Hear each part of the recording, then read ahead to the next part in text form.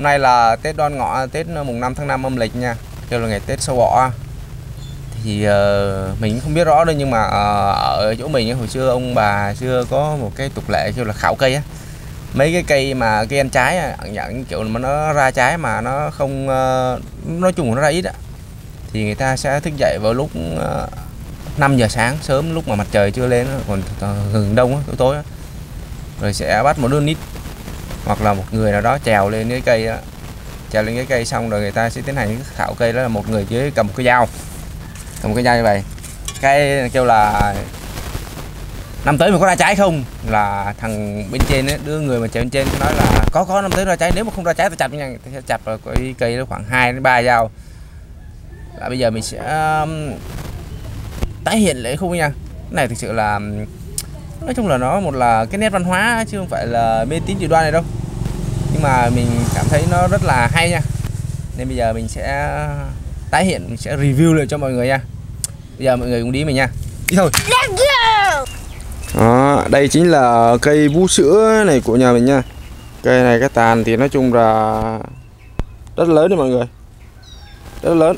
Nhưng mà nó ra trái rất là ít nha thì nếu mà ông bà mình còn sống thì ông bà sẽ làm như thế này này.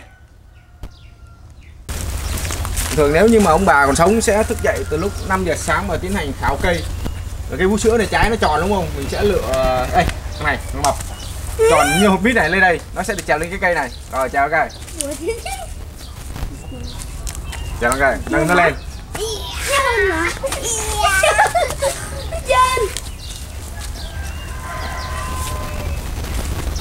Chào cái cây này có múc chèo tới đây nó không được này thua. Lên lên. Đừng có cười đừng có cười thôi giờ mình sử dụng phép thuật nguyên đi. Đứng đây đứng đứng đứng đứng đi dắt vòng ngoài đây coi.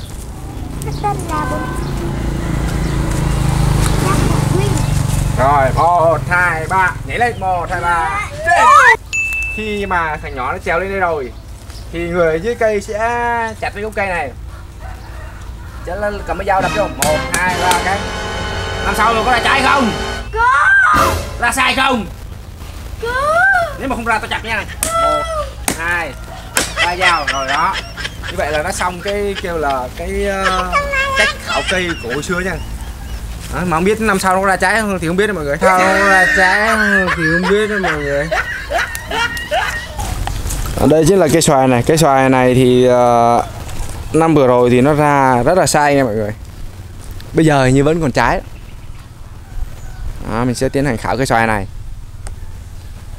Rồi hai này cho đây guys. Cái xoài này thực là nó ra rất là tốt rồi nha.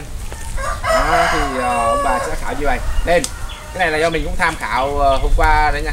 Rất là nhiều rồi. Chào các bạn hai thằng chào được không? Phải đẩy thằng hào lên trước chứ. Ôi, vậy này thua rồi. Đó, cây này thì năm trước nó ra rất là tốt đúng không? Thì năm nay người ta sẽ khảo như vậy. Có ba dao một dao hai dao ba dao đó năm vừa rồi ra rất nhiều trái nha năm tới cố gắng ra nhiều trái hơn nữa nha. Ra nha. Một hai ba rồi nhớ ra nhiều trái nha. Dạ. rồi xuống. Vậy là xong đó mọi người. Không biết năm sau có nhiều trái hơn không không biết nha Ê, hôm nay bọn mình ăn mùng 5 tháng 5 này có món à, ăn chay nha. Nên ăn chay đây có món đậu hũ hấp nha. À, Rất là thơm.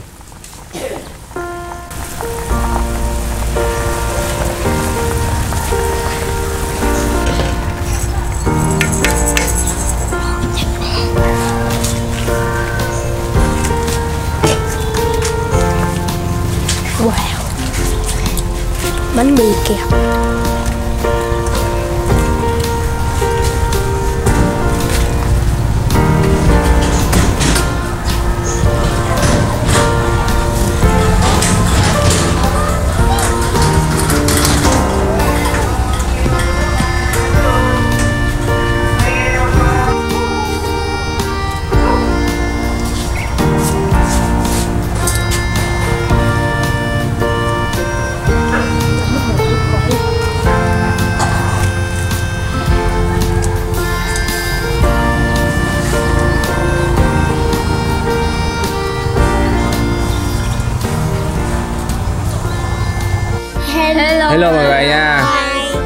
Là mình ăn mừng mùng 5 tháng 5 với lấy với đứa nhỏ ở đây có một trái một trái đầu tiên. Đố với trái này chín chưa? Chưa. Trái này chín rồi nha. rồi rồi rồi. Này tí mình ăn món này đây là món này hôm nay ăn chay nha. Nay ăn chay món này là kiểu là đậu hũ hấp muối tiêu rau răm. Rồi bắt đầu vô. Thì xịt tương ớt xịt tương ớt xịt tương ớt đó cho hậu gì ăn. Để để để từ đâu được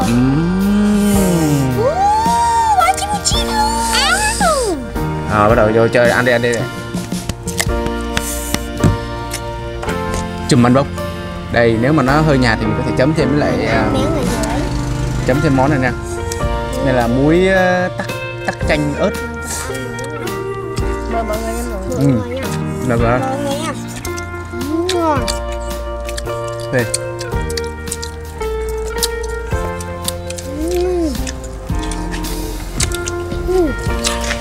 ngạp luôn không? Đậu hũ nhạt thêm nước tiêu chấm nước tiêu. Ăn miếng con căm nó thơm nó ngon ăn lạ hả? Nó mới phát minh món này coi trên mạng ừ, mọi người đậu hũ. Hấp. Muối tiêu. Muối tiêu. Rau rau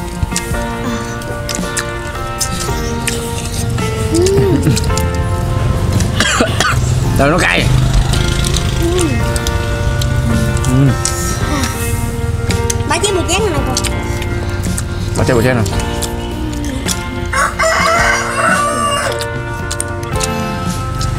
Ngon kìa Ăn đi.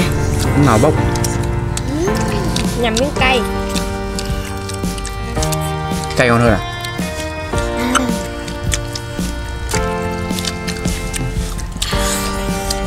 Tắc thơm nhỉ Cay không cậu Cho một.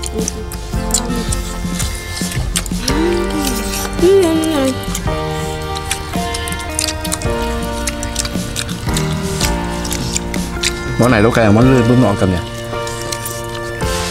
uhm.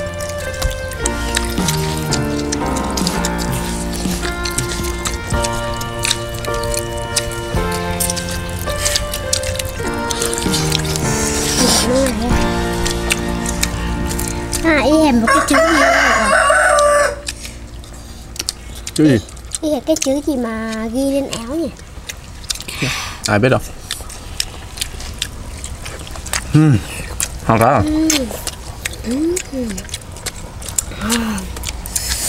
Không ăn gì mà Cay hả? Sốt Không, này đâu có sốt ruột đâu. Đây là chữ M luôn Đó À Để cho người cho nó nóng sao sao? Uhm. Ghê trời Anh nói tí tương ớt mọi người tao nóng sao sao kìa. Hả? Dân kêu nó ăn tí tương ớt mọi người ăn nóng sao sao luôn rồi Mặt nó đỏ nè. Uhm.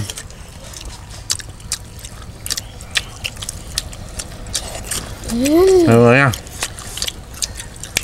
Phê lắm nha. Nóng ghê trời. Mọi người cay quá Nóng hả? Đấy Ba chén một chén luôn. Hợp không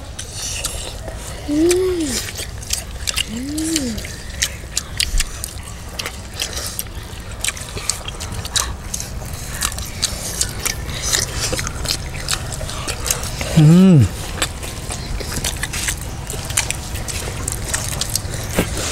Đi rửa tay. Tay con đỏ rồi. Chảy máu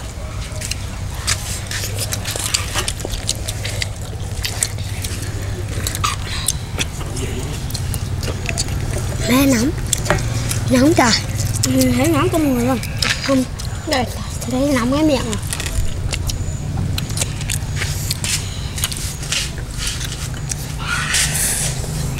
Nghe nói ăn một quả tắc là đỡ chua Đỡ đỡ cay phải không? Tao ăn thử xem cay không? Đỡ cay không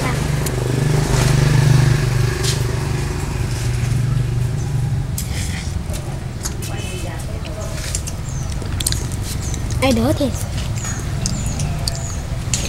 Đỡ thiệt luôn. À. Rồi. ơi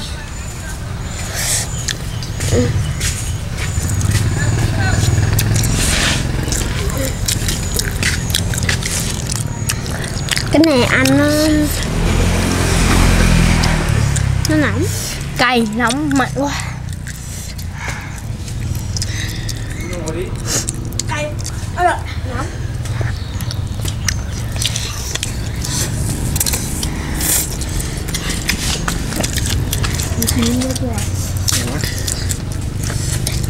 Nó tương ớt này cay quá.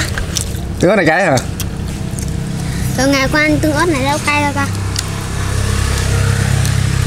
Con nghe nói ăn một quả tắc là hết cay phải không? Đúng rồi, nhai hết một quả tắc trong miệng nhai. Mà con vừa nhai xong Ăn hết đi, ăn hết, ăn hết đi. Ăn hết miếng này đi mày.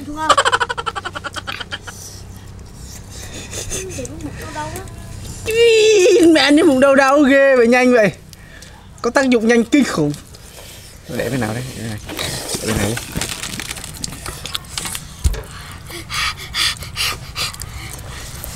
Nó Mới ăn ăn, mà quá. cái, mới ăn mà cái bụng đã đau đau rồi. Ăn ngà quá.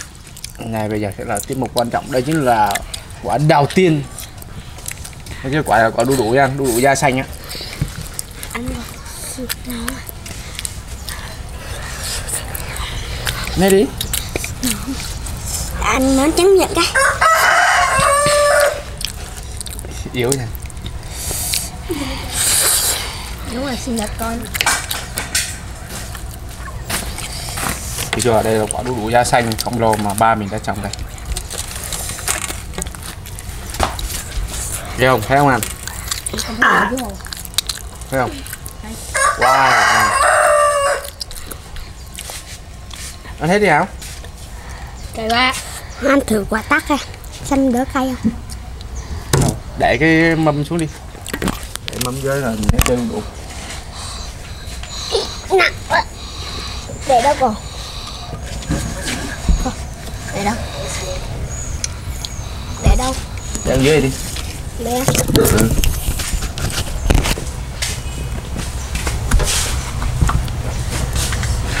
ăn thử quả tắc đỡ cay không ăn đi người ta cay uống sữa. À, Đưa cho bà Hải đi.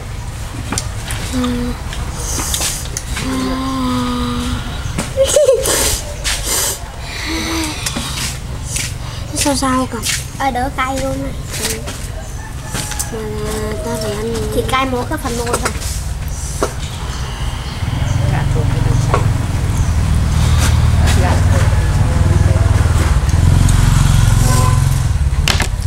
Chơi thôi. Chơi. Rồi, ăn nổi hắn lấy nha, còn không ăn nổi thì không lấy nha. Lấy miếng nào là phải ăn hết miếng đấy nha. Dạ. Thôi Hào ăn miếng này bé đi này. Nào hết miếng bự đâu? Nào ăn hết miếng bự trong cầm miếng bự này hột đâu gì? Ăn miếng kìa không miếng này. Ra cái miếng bẻ đi. Ra Người ta miếng bự này Thôi ăn miếng bự đi, ăn nhiều mà. Hột để đâu? Hột mình sẽ bỏ ra cái tô này. Ừ. thử ăn để hết rồi Món đậu hũ phải ăn mà ngon nhỉ? Nhạt nhách mà ăn ngon ha. Cái ngán hơi à cay. hơi ngán cay với mặn à, hai hai này không không đấu được mấy món cay này. Con chỉ thấy ngán à? Ngán này ăn mấy miếng? Ăn ba miếng không ăn được ba miếng. Con thấy ngán luôn. Con cũng ăn được ba miếng. Hào ăn được mấy miếng? Hai miếng. Hai miếng này yếu vậy hèn chi không không không không ra mấy món món ăn ăn được ha ok. Biết ăn sao? Giá cả luôn yes. cho này. Lại mời mọi người miếng đu đủ nha. Mọi người. Mọi người mới đủ nha. Hết cay vào.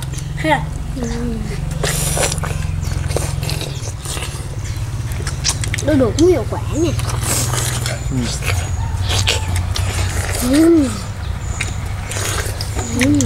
cái đoan ngọ hồi xưa là ông bà hay em, khảo cây theo cái kiểu đó. Làm người trèo lên nhưng mà phải khảo trước khi mặt trời mọc nha. Nó mới có tác dụng nha. Nghe nói thì không biết có tác dụng không nhưng mà hồi xưa thường thường là khảo như vậy. Đây là một cái ờ, tục lệ hồi xưa chứ không biết là nó có tác dụng không thì không biết nha.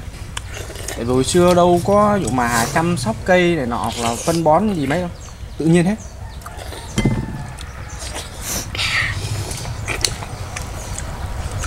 Ngon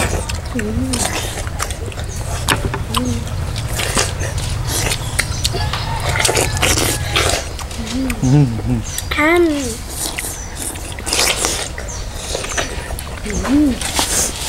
Ngọt ghê trời. Anh đua ông cầm. Không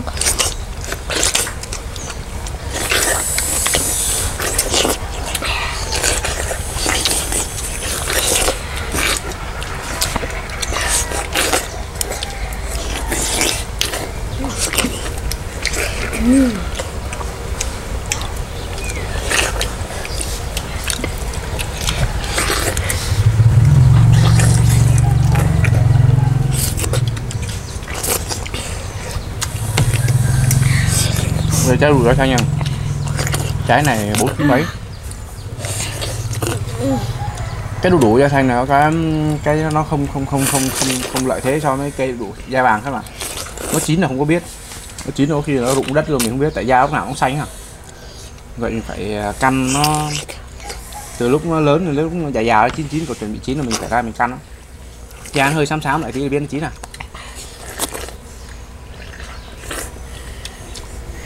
Hết không cầm. Không. Ăn xong tí dọn nha? No. Rồi, bye bye mọi người đi.